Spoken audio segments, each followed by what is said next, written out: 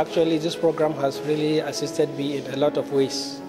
It has um, rekindled my vision to be a better person, uh, especially in the aspect of anger management and, you know, uh, be a, an influential person, you know, to assist others, you know, achieve their goals. Thank you very much.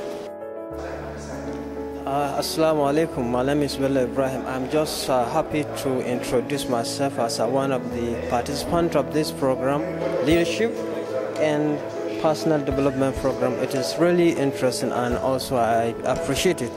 I learned a lot from this. I actually realized my proficiency or my status in the future as a consul who can contribute, who can assist people here and there towards their development. I think if we can be having this kind of program, our youth to be or the next generation to come will benefit greatly towards the development of society and the nation at large. So I'm very, very happy to be one of the participants in the program. I thank you very much. So, what is your general impression about the leadership When I first saw the program, the advert on Dr. Ahmed's Facebook wall, advertising the leadership and development program, I quickly go to the website and register my name because I know Dr. Ahmed. He's doing very well. Also, we are proud of him in Katsina State. Yeah. And then, so when you when you come here, so what how do you see the program? Does it meet Well- your expectation? Definitely, it meets my expectation. I know what I will get by coming to the, this program. So far, what, what have you gained? What knowledge? experience? Well, I acquire a lot because what really motivates me to come because I write.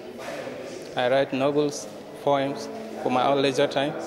Also, in my work schedules, I acted as clerk at the table in State House Assembly, so I have to be perfect in writing house proceedings. So that's what keep me coming. Then when I come, I learn how to write a good memo, an executive letter, and so on and so forth. Also, I learn how to be addressed, how to address people gathering, and be presentable. Uh, today we had the fourth day, uh, which is more than 60%, uh, half uh, more, uh, from the beginning. And uh, you've heard from the participants and how much satisfied they are, how much they learned from the program.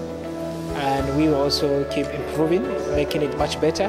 We have learned so much from the participants, and we've seen areas where we need to improve. And so far, I think we are satisfied with based on the reactions we receive from participants. And uh, this will mean that in the subsequent sessions, this program will be much, much, much better. So keep following us uh, for the subsequent uh, two days to finish from Katsina. From here, we will then move to Kaduna State. Thank you for following us.